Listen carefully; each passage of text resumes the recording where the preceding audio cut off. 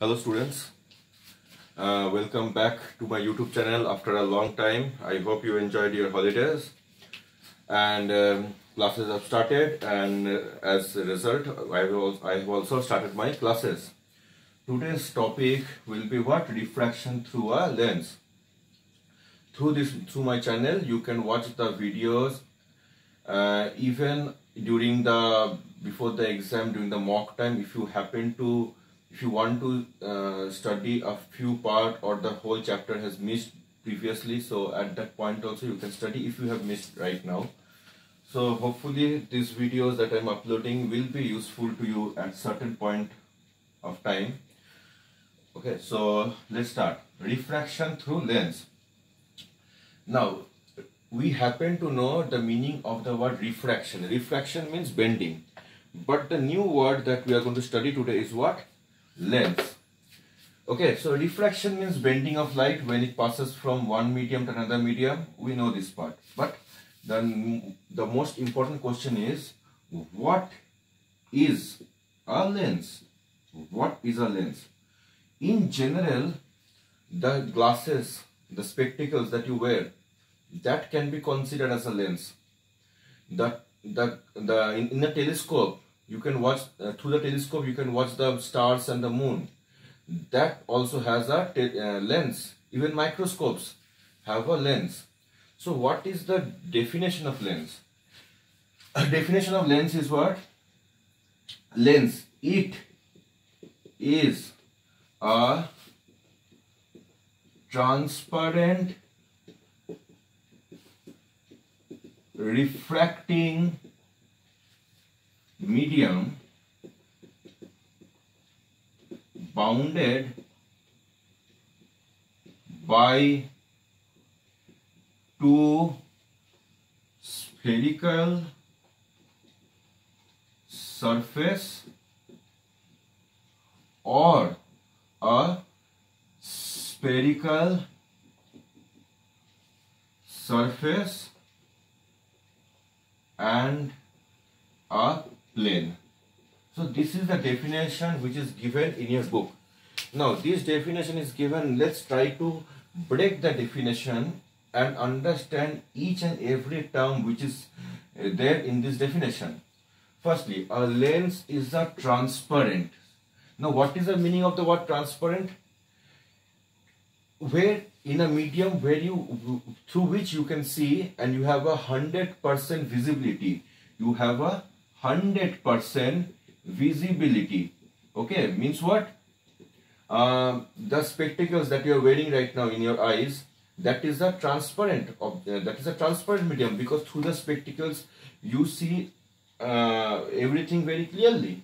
So that is a transparent, that's a transparent object. Even the, uh, if you go to a showroom, uh, suppose you're passing in the showroom, if you see the cars or the some dresses have been kept behind the glass. So through the glass, through the glass, you can see those cars, expensive, say, good cars or some dresses very clearly. So those glasses can be also considered as a transparent medium. Or you can see the fishes in your aquarium very clearly. So the glass of the aquarium is a transparent object. So I think the what the meaning of the word transparent is very much clear to you. Now already I stated what is the meaning of the word refracting. Refracting means what? Bending. Bending. So we know when light passes from one medium to another medium, it will bend. Obviously, when it passes from, say this is air and this is glass, the light will bend. Okay, the light is going to bend towards normal or for normal. Anyways, so the light will bend. When? If the when the light enters the lens when the light is going to enter the lens it is going to bend. So refracting means meaning is clear. Now it is bounded so and refract so transparent refracting medium. So if i consider this as my lens like your glasses okay this glasses.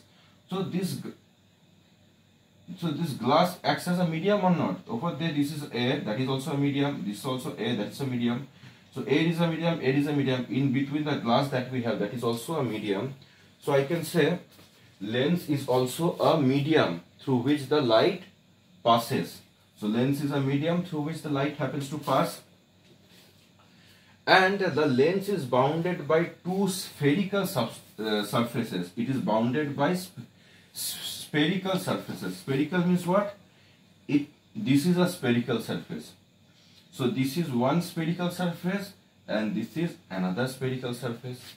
Or this is also a spherical surface and this is also a spherical surface.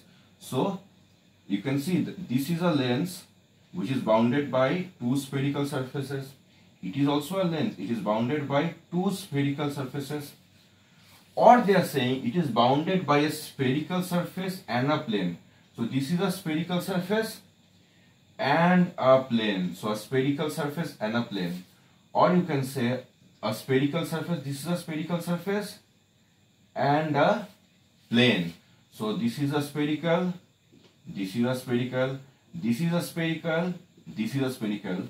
Or you can say this is a spherical, this is a plane and this is a spherical, this is a plane. So you can see as per the definition, it is bounded. So the lens which is a medium which is bounded by two spherical surfaces. Over there the two spherical surfaces. Or they are saying a spherical surface and a plane or a spherical surface and a plane. So I hope this definition of lens is very much clear to you. So lens is a transparent refracting medium bounded by two spherical surfaces or a spherical surface and a plane. So as we have considered the as we have completed the definition part of the lens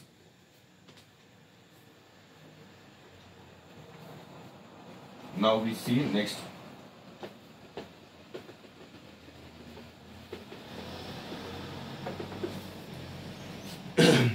So basically there are two kinds of lens that we have in our chapter. There are two kinds of lens. The two types of lens the two types of lens that we have is what? Number A, convex lens and number B, concave lens. Now here is a little bit of confusion. Concave, convex lens. you have to understand it by a logic. Okay, the logic is convex. Convex means bulging. So a convex means bulging. So a convex lens will have bulging on either sides so if i say this is a bulging see it is coming out and this is also a bulging. So you can see a bulging on both the side. It makes a convex lens. And a concave concave means what? Depression. Okay depression means what? Uh, it is not bulging it is going inside. So this surface suppose this is surface 1 and this is surface 2 so surface 1 will be going inside and also surface 2 is also going inside. So this is a concave lens. So this is a concave lens and this is a convex lens. I hope you can you can like you know get the logic behind it. Uh, if you want to uh, see that in a, in a more um, logical way that what is a concave and convex I can give you a small way. Do you remember what is a concave mirror? Do you happen to remember? If I talk about concave mirror it uh, what is a concave mirror? This is a concave mirror. The silvering part is inside okay this is a concave mirror this is a mirror which is a concave. Now you take another concave mirror on that side. Okay, in, a, in this way. So concave mirror. So you can see the two concave mirrors placed on either side like this way forms a concave lens forms a concave lens and talking about convex talking about convex do you remember the convex mirror? Do you remember convex mirror? How was the convex mirror was looking like? A convex mirror was something like this. Okay the outer side is reflecting and the inner side is uh, you can say it is silvered. And you take one more convex uh, mirror. Where the outer surface is reflecting and the inner surface is mirrored and you join both of them. As you have joined you join both of them. So this first concave mirror and the second concave mirror sorry convex mirror. This is a convex mirror. This is a convex mirror. Together you can say makes a convex lens. This way also you can remember. So whichever way you can remember it by convex which is bulging or concave which is depression or you can say convex lens is formed by two convex mirror placed in this way. Okay one after the other but in opposite direction. Or you can say a concave lens has means depression so depression on both the sides sides or a concave lens is formed by two concave mirrors placed one after the other on but in the opposite way. So this is a concave mirror. You can see inner side is reflecting uh, sorry outer side is reflecting inner surface is uh, silver. So like that way also. This is a concave mirror and both the concave mirror makes a concave lens.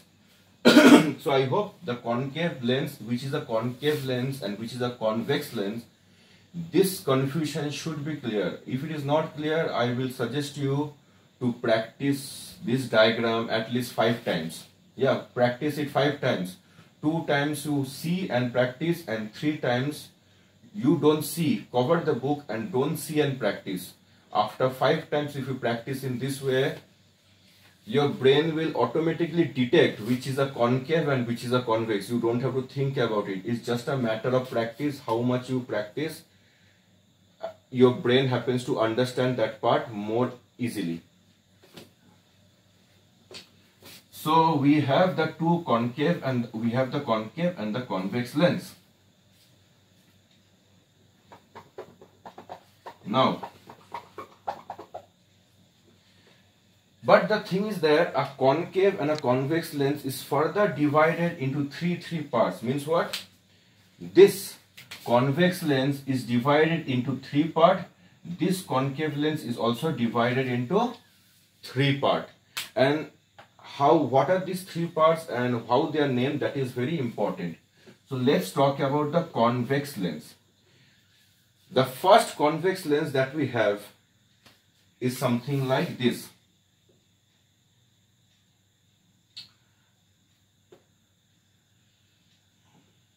okay let's uh, the, let's talk about the names okay huh? the first convex lens that we have is biconvex lens. The second one that we have is what? Plano convex lens. And third third thing what what we have is what? Concavo concavo con Vex lens. Okay, so these are the three lenses that we have for the convex. Now, over there you have to remember certain rules, okay? Remember certain rules. For the first one, it is very easy. Biconvex means what? Both the side we have convex and convex means what? I think I already told you both the side is bulging. So convex means bulging. So this side is bulging and even this side is bulging. So you have a biconvex lens. But over there, these two, you follow a certain rules. See, the thing is that no, huh, certain things in our life or in studies seems very difficult. Seems it is impossible. You we cannot achieve it. Um, but you know how to achieve it. Where is the trick? The trick is follow small small steps okay follow small small steps and ultimately you will reach your goal which is which was impossible which was initially seeming impossible to achieve you can achieve that by by make sure that you follow certain small small steps or follow certain small small rules these things might be difficult according to the book the diagram but if you follow certain rules nah, it becomes quite easy actually it is not actually hard First thing that you have to remember is what? plano convex when I say this side is a right side. The first word represents the right side and the second word represents the left side. Even for concave or convex the first word represents the right side and the second word represents the left side.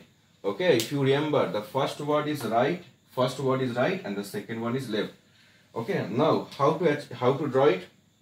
See first you start with the say right side right uh, so first start with the left side. Left side is what? Convex. So I, I i think you know this side is left and this side is right. Like obviously okay like this side is the left side and this side is the right side. So this convex is on the left hand side. Okay no problem. Convex is on the left hand side. So on the left hand side you draw a bulging. And a plano means what? A plane surface is on the right hand side. Okay a plane surface on the right hand side. So i draw a plane surface. Now see plano convex is this diagram. So this is my left hand side and this one is right hand side which is very easy. Follow the same concept over here also. Concavo convex. So convex a convex means what? A bulging. Convex means bulging. Which side? I told you the second word always represents the left side. So left side is a bulging and concave concave is the right hand side right and concave means what depression okay going inside so this surface is like going inside so this is the left, this is the right. So you can see this is a plano convex and this is a concavo convex. Clear? I hope this part is clear to you. Now let's see what are the three types of convex lens that we have.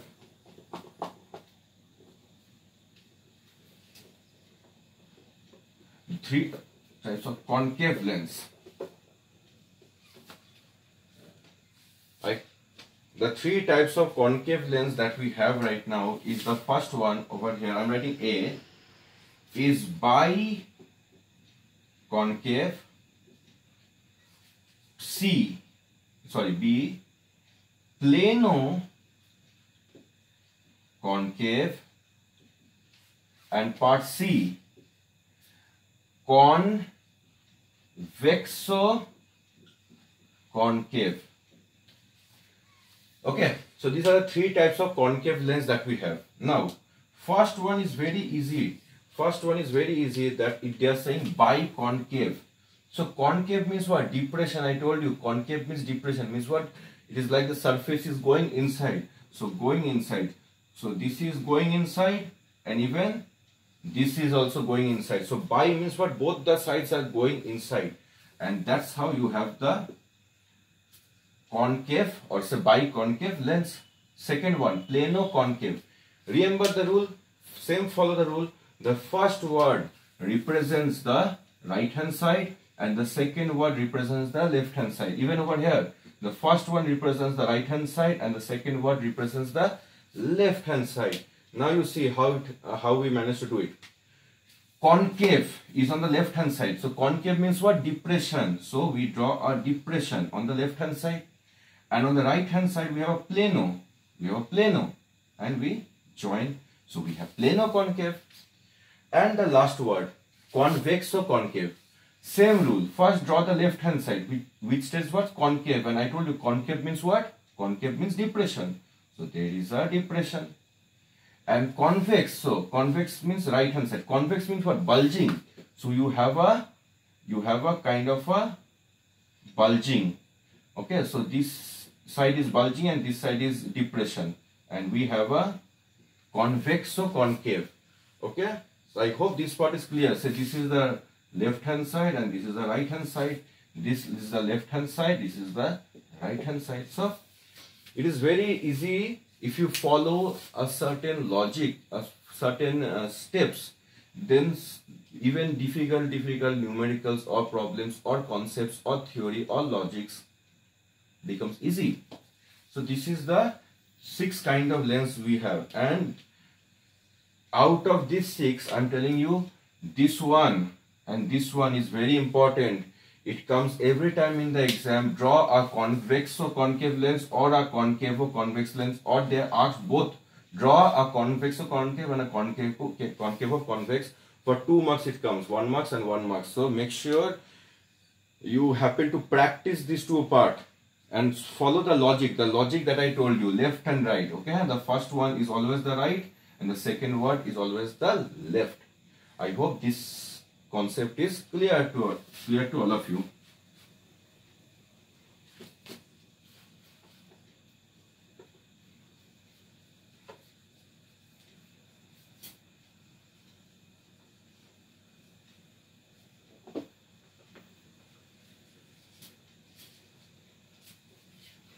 Now, next word. Now, if you have certain things in our life, it is a, it is for a particular purpose. Uh, like like what I will say, the mobile phone that you have with you. What is the purpose of the mobile phone? The purpose of the mobile phone is to call someone, or to watch these YouTube videos, or whatever things that you do, play games or you know social media, whatever. But it is of a particular use mobile phones. If I talk about these markers that I have in my hand, what is the use? To write? Huh?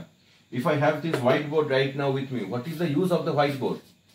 Huh? So with that we can write it on, write it, uh, write on it. So everything has a use. So we have lens. So what is the use of lens or I can say what is the function of lens? So my question is what is the function of lens there are two functions of lens there are two functions. The first function and the second function. The first one function is to converge. And the second function is to diverge. Converge means at a point all rays are coming. And diverge means what? From the point the rays are going out. Okay? These rays are going out. So this is converge and this is diverge.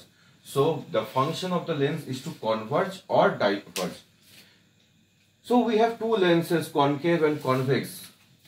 Which one will converge and which one will diverge? A big question comes. Which one will converge? Is the concave lens is going to converge or is going to diverge? Convex lens is going to converge or diverge? We have to know it and why it converges and why it diverges that is more important okay so we have to know it. But before we start with that topic we have to go back to the previous chapter. I think that chapter is called uh, that chapter in that chapter we have a small part that is called prism. And we have to just uh, go back to that prism part to understand what does a prism does. Suppose this is a prism. Okay, this is a prism. A prism can do what? A prism always bends the light. So suppose this is the light coming. This is the light which is entering the prism. So prism can do what? A prism always bends the light. The prism always bends the light. But uh, let me tell you, uh, as I say, in English, there is a saying. The saying is, half knowledge is very dangerous. If you have half knowledge about a certain particular uh, matter, it is very dangerous. Either you have full knowledge, either you have no knowledge. Okay, that if you have no knowledge, that's good. If you have full knowledge, that is best. But if you have half knowledge, that is very dangerous.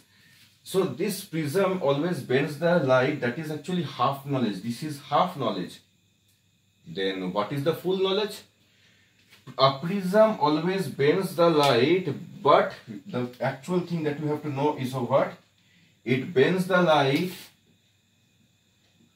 towards the base.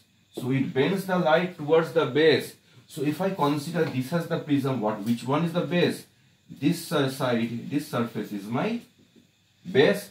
So prism does what? It will bend the light towards the base. देखो this light which is emerging out is towards the base. This is the base, it is going towards the base. Even if I have a inverted prism, if I have a inverted prism, something of this way, then what can happen? Then also the same logic. If a light is coming, if the light is coming over here like this way, and this light is coming, this light will be bended towards its base. So which is the base for this prism? This is the base.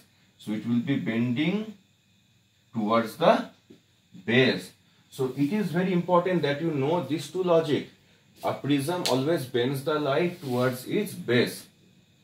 Now the next thing that you have to know, if you have a square or a rectangular glass slab, this is a glass slab and a ray is coming incident on it at an angle of 90 degree. You can say there is an angle of 90 degree over here.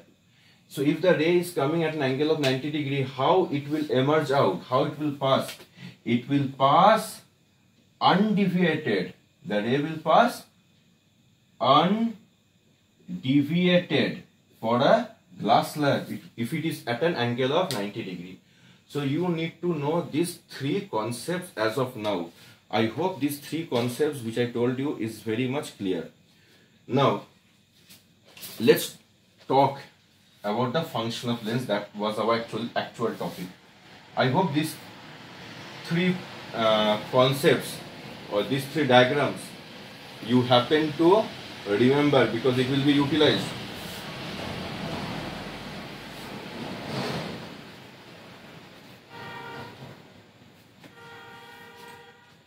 Now, if I consider this as a convex lens this as a convex lens? Now this convex lens can I draw it like this way in an equivalent way? Not exactly same but, but in an equivalent way.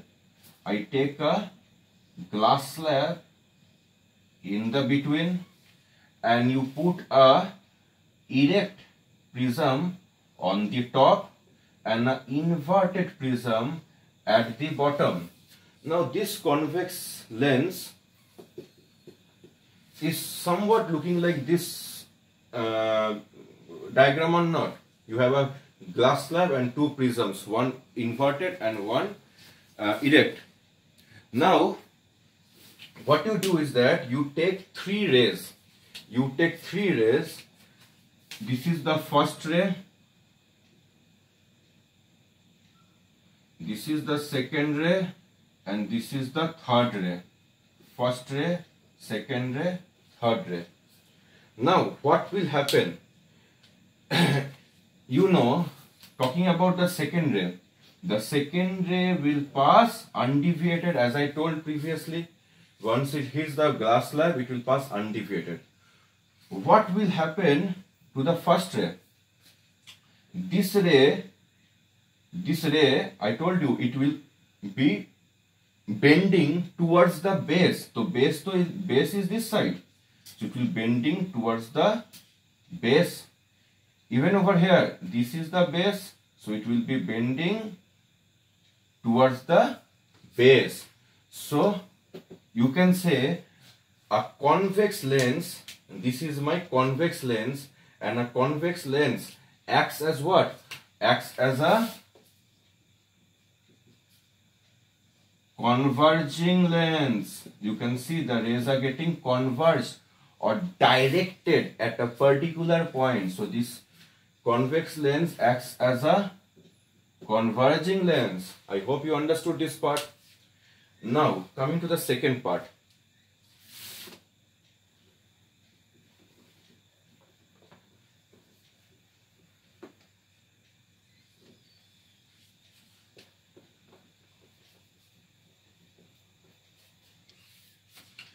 If we talk about the concave lens, if we talk about the concave lens, now how is a concave lens looks like? A concave lens looks some similar like this. now this is a concave lens we will draw a certain kind of a convex lens but with using uh, the prisms and the glass slab so I'll use the glass slab in the middle and on the top I'll have a prism in this way and at the bottom I'll have one more prism in this way right? So this concave lens looks somewhat like this. Now what happens? I will draw the rays which are coming the three rays. First ray which comes over here. The second ray which comes over here. And the third ray comes over here. Now as I told you what will happen to the middle one the middle one ray will always pass undeviated. But what about the first ray? See, follow the concept. The first ray will bend towards its base. So this is my base. If you consider this as a prism as a whole, this is a base. So it will bend towards the base. So it will bend, see, the ray is bending. This is my base, it is going towards the base. Even same over here, this is my base. And the ray is bending uh, cannot just okay a little bit I just just change a little bit. The ray will be bending towards the base. See you can say towards the base. Now you can say a concave lens acts as what kind of a lens acts as a diverging lens. It acts as a diverging lens. I hope this part is understood to you. So a concave lens acts as a diverging lens and a, the previous one, a convex. The convex was acting as a convex. The previous one, convex lens was acting as a converging lens. So I hope till here you understood everything. So today's lecture I'll keep it short and I will keep it till here. I hope you understood whatever I taught you over uh, till now. If you haven't understood, what I can say is that please repeat the video or watch it once more and you will understand the in a better way. So, so this was all about today and I hope you do your work, the, all the homeworks that are given to you and um, yeah that's all. Take care. Bye. And if you like the video always give a thumbs up or a like. Okay. Bye. Take care. Good night